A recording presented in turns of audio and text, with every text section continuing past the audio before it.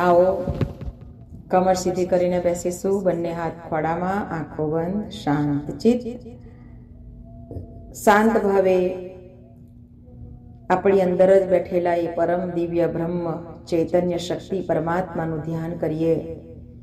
પ્રાર્થના કરીએ કે, પ્રભુ, તમે મારા ભીતરમાં બેઠા છો. તમે એક અંશ છો. તમને હું જોઈ શકતી નથી.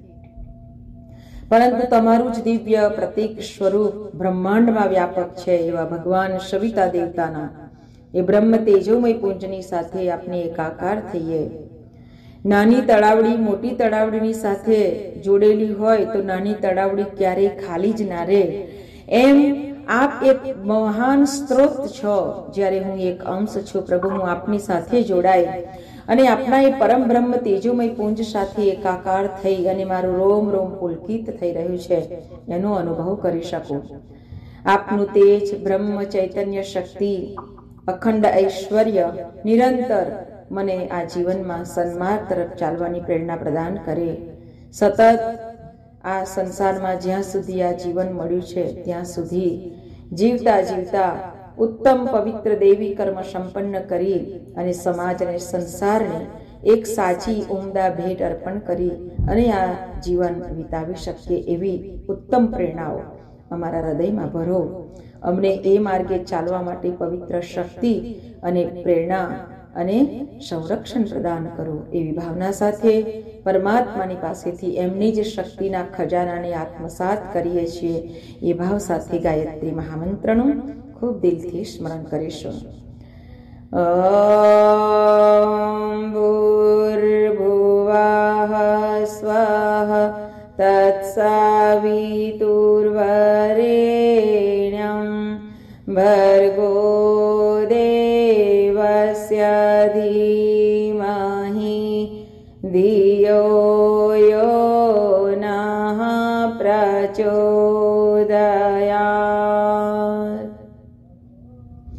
अनेकजन्मशं प्राप्त। कर्मेन्धनविदाहिने आत्मज्ञाने निदानेन तस्मै श्रीगुरवे नमः। मातरं भगवती देवी श्रीरामस्य जगद्गुरो चरणारविन्दे वन्दे श्रद्धा प्रज्ञास्वरूपयो या देवि सर्वभूतेषु प्रज्ञारूपेण संस्थिता।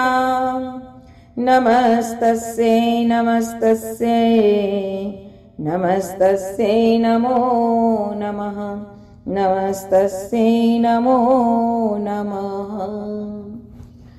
પરમ પૂજ્ય ગુરુદેવ પરમન્ય માતાજી આદ્ય શક્તિ વેદ માતા, દેવ માતા, વિશ્વ માતા, મા ગાયત્રીના પાવન સાનિધ્યમાં, સૂક્ષ્મ સંરક્ષણમાં ઉપસ્થિત તમામ શ્રદ્ધાળુ, પરિજન ભાઈ બહેનો સર્વ ભક્તજનો આપ સૌના અંતઃકરણમાં બિરાજિત પરમ ચૈતન્ય સ્વરૂપ પરમાત્માને મારા કોટી કોટી પ્રણામ. સૌને જય ગુરુદેવ. સાથે અમારે મા ભગવતી પ્રજ્ઞા ભવન શ્રી રામ શ્રદ્ધા ભવનમાં ઉપસ્થિત મારી વાલી વાલી દીકરીઓને પણ ખૂબ ખૂબ દિલથી જય ગુરુદેવ, મારા બહેનોને જય ગુરુદેવ.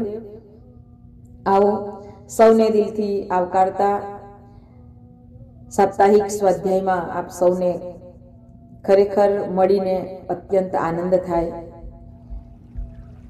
અમારા વિપુલ, અનાબેન ના જે દીકરો છે, અમારો ભાણો છે એને ખરેખર આ ક્રમને એટલો સરસ સાચવ્યો છે, એટલે આનંદ થાય કે બાળકો પણ આવા પરમાર્થના કાર્યમાં સતત જોડાયેલા રહેશે, તો અવશ્ય એમના જીવન ઉજ્જવળ બનશે. આવા સમયની અંદર પોતાના બીજી બીજી શિડ્યુલમાં પણ આ સમય કાઢવો અને સદગુરુ ચરણે અર્પણ કરવું એ બહુ ઊંચી સેવા છે. અને ખરેખર આવી અનેક સેવાઓમાં મારા દીકરાઓ પણ જોડાઈ રહ્યા છે, બહુ આનંદની વાત છે. આવો. પરમ પૂજ્ય ગુરુદેવનું જે સૂત્ર આપણે લઈને ચાલતા હતા કે સફળતાના સાત સ્વર્ણિમ સાત સૂત્રો. અને એનો આપણે આજે ભાગ છે. તો સફળતાના સ્વર્ણિમ સાત સૂત્રોની અંદરનો આજે આપણે પરમ પૂજ્ય ગુરુદેવ આપણને બતાવે છે કે જીવનને સફળ બનાવવું એ તો બધાને જ ગમે છે. બધાને સરસ દેખાવું તો કે બધાને જેવું ગમે છે કે હું સારું હું સારી દેખાવ કે હું સારું દેખાવ બધાને એવું છે કે મારું સારું ઘર હોય, મારું સારો બંગલો હોય, બધા કરતા મારી પાસે કંઈક અલગ હોય, કંઈક સારું હોય. બધી જ જીવન જરૂરિયાતની તમામે તમામ વસ્તુ, વાતમાં દરેકને એવો વિચાર આવે કે મને સારું જ મળે, સારું જ હોય. તો આ બધી જે વાતો છે, આ બધી જે વસ્તુઓ છે બધી ભૌતિક છે, જે નાશવંત છે.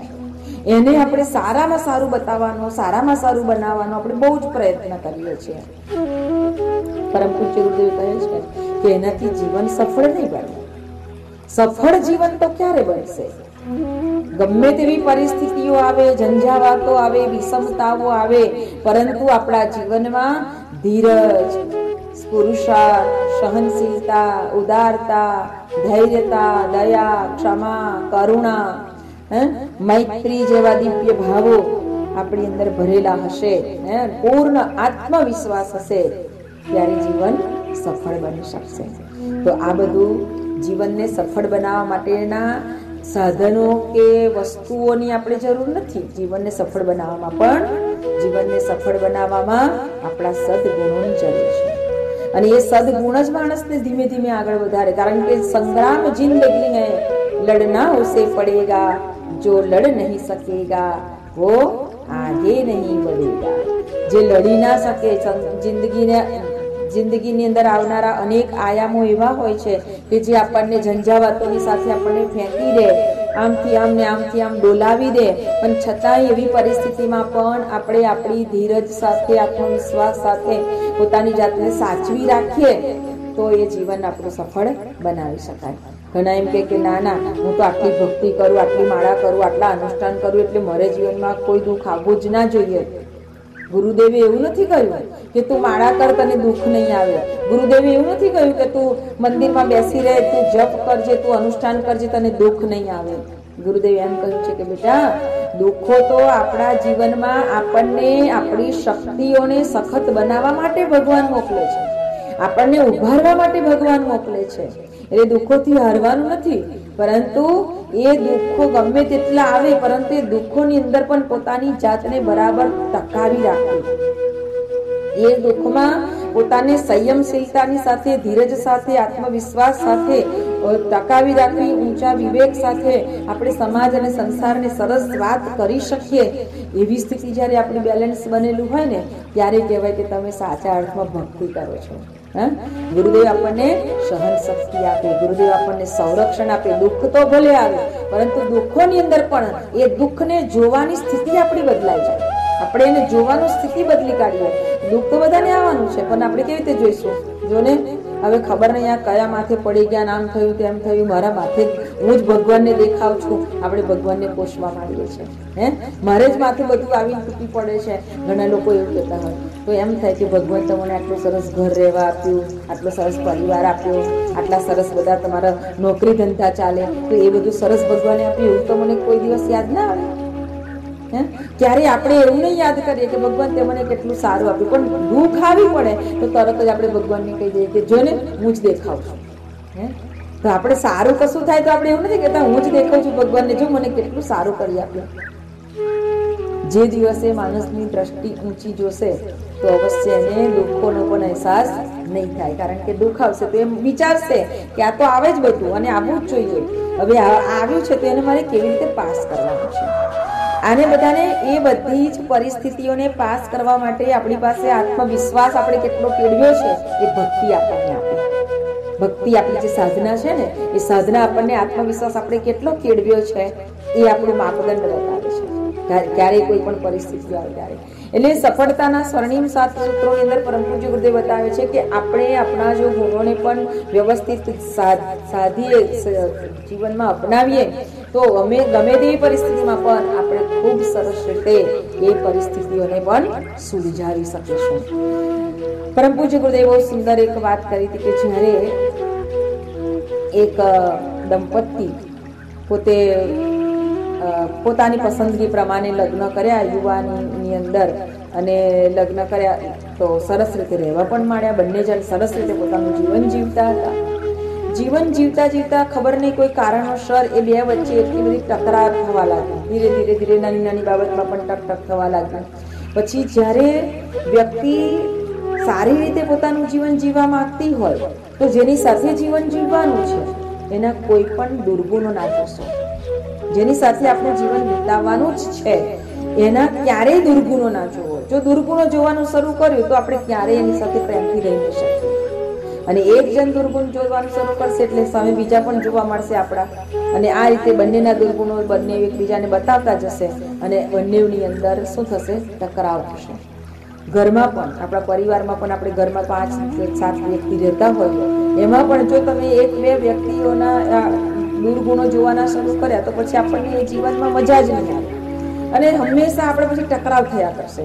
એટલે બને ત્યાં સુધી એનામાં જેટલા ગુણ છે, એને જોવાનો પ્રયત્ન કરો.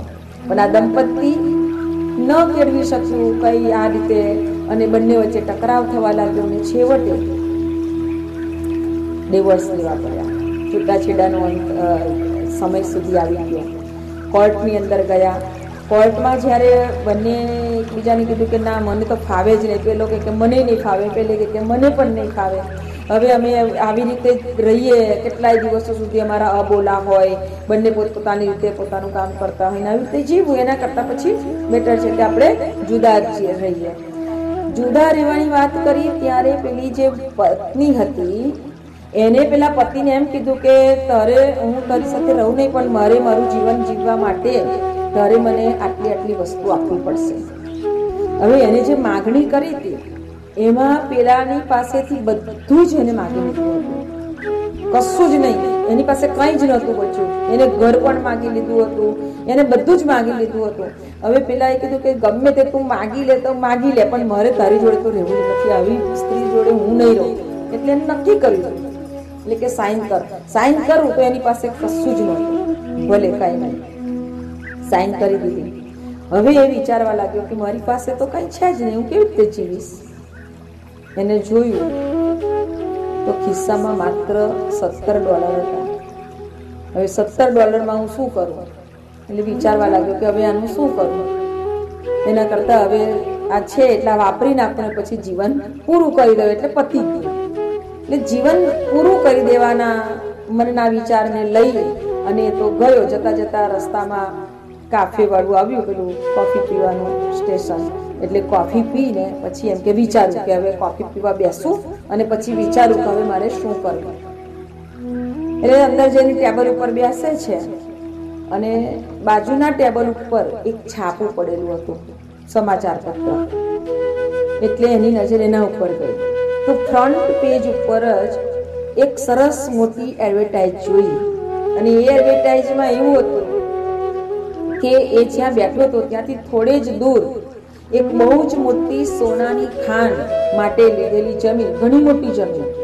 અને એમાં સોનાની ખાન સોના, આમાં સોનું છે એવું બધા ઘણા બધાએ કીધું એટલે ઘણા બધા ભાગીદારોએ ભેગા થઈને એમાં માઇન્સ બનાવી, સોનાની ખાન તૈયાર કરાવી.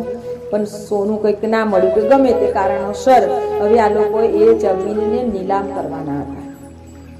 એને વાંચ્યું. એટલે એને એમ થયું કે લાવ જવા તો દે, કેવી રીતે નીલામી થાય છે જો તો ખરા. મારાથી તો કાંઈ સત્તર ડોલરમાં કંઈ ખરીદાવાનું નથી, પણ જવા દે. એટલે ત્યાં જાય છે. ત્યાં તો કેટલા બધા મજૂરો કામ કરે છે. જે બધા ભાગીદારો બેઠા હતા, એ બધા ભેગા થયા છે. અને બધા જ ભાગીદારોએ નક્કી કર્યું કે હવે આની અંદર આપણે ખોટ ખાઈ ખાઈને આટલા બધા દિવસો વિતાવ્યા. હવે એવું નથી કરવું. હવે જે મળે ને એમાં પણ આજે તો આમાંથી છૂટું થઈ જવું છે. બધા જ ભાગીદારોએ નક્કી કર્યું હતું કે હવે આમાંથી છૂટું થઈ જવું છે. કારણ કે કશું નહીં આવે તો ચાલશે, પણ હવે કશું નાખવું નથી આપણે. ઘણું બધું ખોદ્યું, પણ કાંઈ મળ્યું જ નહીં. એટલે બધાના પૈસા છૂટી ગયેલા. હવે પેલો સત્તર ડોલર લઈને ત્યાં પહોંચ્યો. પણ ત્યાં કોઈ જ નીલામીમાં આવેલું નહીં. એટલે પેલા જે પાર્ટનરો બધા બેઠા હતા, માલિકો હતા, એ બધા કે ચાલો આની નીલામી કરવાની છે છે કોઈ? એટલે પેલો જઈને ઊભો રહ્યો. કે હું છું એમ કે. તો કે બોલ, તારે બોલી શું બોલવી છે એમ કે. એને જોયું કે કોઈ છે જ નહીં. તો કે હું તો આને પંદર ડોલરમાં લઉં, એનાથી વધારે મારાથી કશું ના અપાય. પણ કોઈ હતું જ નહીં, એટલે અને બધા જ છૂટવા માંગતા એટલે બધા કે આપણે કાંઈ જોતું જ નથી. અને પંદર ડોલર તો પંદર ડોલરમાં પણ આ બધી જમીન એને આપી દો. પેલો વિચાર કરે કે, હે, આ પંદર ડોલરમાં આટલી બધી જમીન? અને સોનાની ખાણ માટે લીધેલી જમીન કેટલી બધી જમીન, કેટલી મોટી જમીન? ત્યાં ખાણ ખોદાયેલી જમીન? અને પેલા બધાએ પાર્ટનરો કે ફટાફટ સાઈન કરી દીધી અને એને પેપર સાથે દીધા કે, લે, આ સીધું આ ખાણનો માલિક. આ માઇલ્સ તો માલિક છે. પેલો વિચાર કરતો રહી ગયો, માથું ખંજવાતો રહી ગયો કે, આ હું શું જોઉં છું? અને આકાશ બાજુ જોયું કે, પ્રભુ, આ કેવો ચમત્કાર એમ ત્યારે પરમ પૂજ્ય ગુરુદેવ કહે છે કે ગમે તેવી પરિસ્થિતિઓ જ્યારે આપણા જીવનમાં આવે છે, એક બાજુથી દરવાજો બંધ થાય છે ને, તો ધીરજ રાખજો અને ભગવાનનું સ્મરણ કરજો. બીજી બાજુનો દરવાજો મારો ભગવાન ખુલ્લો કરે છે અને એ દરવાજો ખુલ્લો કયો છે, એ આપણને ગમે તે રીતે પ્રેરણા આપે છે. એક છાપાએ પેપરે એને પ્રેરણા આપી દીધી કે તું અહીં પહોંચ. જો એ પેપરને ગણકાર્યું ના હોત એ એને એને વાંચ્યું ના હોત, એને ત્યાં જવાનું એક ભાવના ઊભો કર્યો હોત કે હવે કોણ જાય, હવે મરવું જ છે ને, હવે કઈ જવું નથી, એમ કરી ના ગયો હોત તો એને કશું જ ના મળે. પણ પ્રેરણા આપણને કયા પ્રકારે ભગવાન પહોંચાડે છે એને સમજતા શીખવું પડે. એ પ્રેરણાઓને જીવનમાં ધારણ કરતા શીખવું પડે, એ પ્રેરણાને પકડતા આવડવું જોઈએ. અને આ જે માલિક બન્યો અને પછી તો બધાય સાઈન કરી કરીને બધાય જતા રહે કે આ બધા, હવે આ બધા મજૂરો છે, એ બધાય મજૂરો હવે તો તારે જે કરાવવું હોય તે કરાય.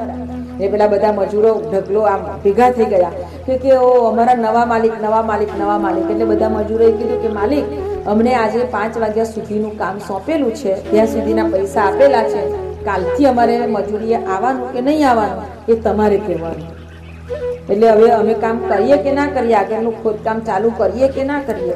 એટલે પેલા નવા માલિકે કીધું કે ભાઈ, સાંજે પાંચ વાગ્યા સુધીના તમને પૈસા ચૂકવેલા જ છે, તો પછી ખોદો ને એમાં પૂછવાનું શું હોય કે તમે તમારું કામ ચાલુ જ રાખો. એટલે પેલા મજૂરો તો પાછા ખોદકામમાં લાગી ગયા. આટલું બધું ખોદવા છતાંય સોનું નહોતું મળ્યું.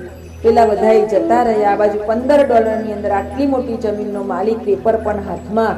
અને એ તો એટલો, અને મજૂરો આટલા બધા કામ કરે, બસો મજૂર કામ કરે ખોદકામ. અને આ મજૂર જે ખોદકામ શરૂ કર્યું, આ સવારનો આ કિસ્સો થયો અને બાર વાગ્યા સુધીમાં તો મજૂરોને ખોદવાનું શરૂ કરવાનું કહી દીધું હતું. સાંજે પાંચના વાગે એના પહેલાં મજૂરો જે ખોદતા હતા, ખોદતા ખોદતા ખોદતા એ લોકો લગભગ ત્રણ ફૂટ અંદર ગયા અને સોનું નીકળવા માંડ્યું. ત્રણ ફૂટ અંદર ગયા અને સોનું નીકળવા માંડ્યું. મજૂરોએ માલિકને વધામણી આપી કે, વધામણી વધામણી, માલિક તમને સરપ્રાઈઝ એમ કે કે જુઓ એમ કે સોનું નીકળવા માંડ્યું કે આખી માટી બદલાઈ ગઈ. એટલે પેલો કે શું વાત કરો છો? તો કે હા. અને પછી તો એનો જે ધંધો ચાલ્યો એને એટલું કમાયો એટલું કમાયો કે વાત ના પૂછો. કમાતો ગયો, પરંતુ કમાયા પછી કમાણી થઈ, પણ એને વિચાર કર્યો કે હું તો મરી જ જવાનો હતો. આ બધું મારે શું કરવાનું? હવે જે મરણિયા થઈને જીવનારા છે એ બધાને મારે ઊંચે ઉઠાવવા છે. અને એટલા બધા સારા કામ કર્યા એ પૈસાથી. બધાની દુવા કમાણી. કમાણી કરી માત્ર રૂપિયા પૈસા ભેગા કરીને બંગલા, મોટર, ગાડી જ નહીં. પરંતુ એ પૈસાથી એ બધાની દુવા કમાવા લાગ્યો અને બધાના આશીર્વાદ કમાવા લાગ્યો. કારણ કે એવા સત્કર્મ કરવા લાગ્યો.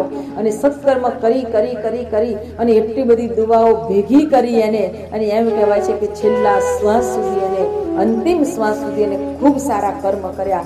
જેથી એના છેલ્લા સમયે એની અંતિમ યાત્રામાં જેટલા જેટલા લોકોને એને મદદ કરી હતી ને, એને કોઈ જ લેવા દેવા નહોતી પણ એવા બધા લોકોએ એને ખૂબ હૃદયથી અંતરના આંસુથી ભીંચવી દીધો. એમ કહેવાય છે. ગુરુદેવ કહે છે કે, બેટા, જીવન તો આપણા માટે બધી જ બાજુના અનુભવો લઈને આવે છે. પરંતુ એ બધા જ અનુભવોને આપણે એક આશીર્વાદ રૂપ માનીને જીવીએ. અને આપણું કર્તવ્ય શું છે? એ કર્તવ્યને માનીને આપણે જો જીવીશું, તો અવશ્ય આ સંસાર, આ સમાજ, આ આખું બ્રહ્માંડ એ આપણું એનો એક અંશ છીએ આપણે.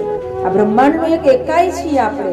એટલે આપણે આપણું વ્યક્તિગત ન વિચારવાનું. સમષ્ટિનું વિચારવાનું કે મારા કારણે મને એકને લાભ થયો નહીં. મારા કારણે સારી સૃષ્ટિના જીવોને લાભ થવો જોઈએ. મારું જીવન એવું હોવું જોઈએ.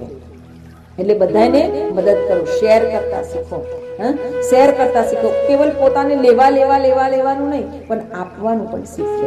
હે? આપવાનું પણ શીખે. જે આપવાનું શીખે છે ગુરુદેવ કહેતા કે જે આપે છે, એને ઉપરવાળો આપે છે. જે આપવાનું જાણે છે, એને ઉપરવાળો આપે છે. અને એ જ ખરેખર ગુરુદેવે આપણને આ સંદેશ આપ્યો, સંકેત કર્યો, તો આપણે પણ જોઈએ, ઇતિહાસમાં પણ જોઈએ છીએ કે આપણે ધ્રુવ, પ્રહલાદ, હે? કેટલાય બધા એવા પાત્રો છે કે જેમને જીવનમાં અનેક કષ્ટો સહન કર્યા, પરંતુ કષ્ટો સહન કરીને એમને જીવનને ટૂંકાવી નથી લીધું પણ કંઈક મેળવી લીધું છે. તો આપણે પણ આપણે એ આત્મવિશ્વાસ, એ આપણી ધીરજ, એ પુરુષાર્થ આપણે એવો પાકો બનાવીએ કે ગમે તેવી પરિસ્થિતિ આવે, અમે પાછે પાછા નહીં હટીએ એટલે નહીં હટીએ. ડગલું ભર્યું કે ના હટવું ના હટવું. ગમે તેવી પરિસ્થિતિ આવે, પરંતુ આપણે ધીરજ, સાહસની સાથે આગળ ધપીએ. તો આપણા સૌના જીવનને ગુરુદેવ એવી અનેક પ્રેરણાઓ સાથે ભરી અને જીવનમાં એક નવા આયામ તરફ, નવા મોડ તરફ આપણું જીવન લઈ જાય એવી ગુરુ સત્તાના ચરણોમાં પ્રાર્થના સાથે આજના વાણી પુષ્પને સદગુરુ ચરણમાં અર્પણ કરીએ.